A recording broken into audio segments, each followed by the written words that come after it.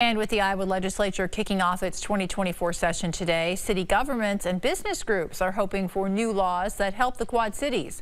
The city of Davenport outlined its priorities in a resolution. TV6 Investigates Matt Christensen has been reviewing the documents and joins us now. And Matt, what will the city of Davenport be looking for? Well, let's take a look here. The city wants to keep its traffic cameras.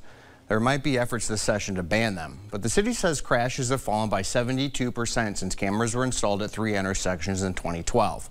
Another priority, building codes. Lawmakers want statewide standards, but Davenport wants exceptions to give cities more freedom to go beyond state rules.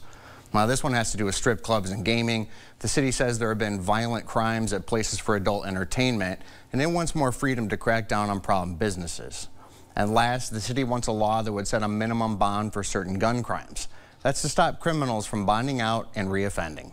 Davenport police say it will cut down on gun crimes. Now, coming up at 6, we'll take a look at what businesses and community leaders are hoping for this legislative session. All right, thank you, Matt. And you can find Davenport's full resolution on our news app and website.